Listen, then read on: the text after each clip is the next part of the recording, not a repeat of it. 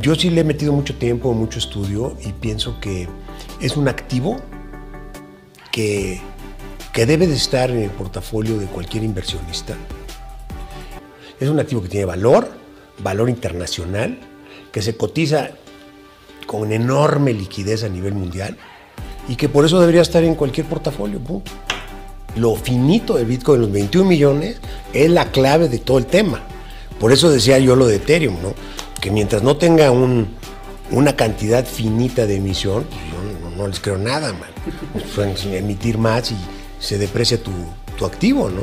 Es el Fiat es un fraude. O sea, mira, yo crecí, empecé mi carrera profesional en el 81. El peso estaba a 20 por uno. Hoy estamos a 20 mil por uno.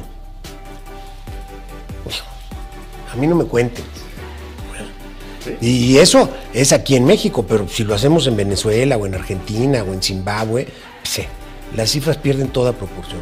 Entonces, el fraude del fiat es una cosa inherente al sistema fiat y lo estamos viendo ahorita suceder en Estados Unidos. La emisión monetaria se fue a la luna, ¿me entiendes? Entonces el dólar como moneda dura pues es una broma.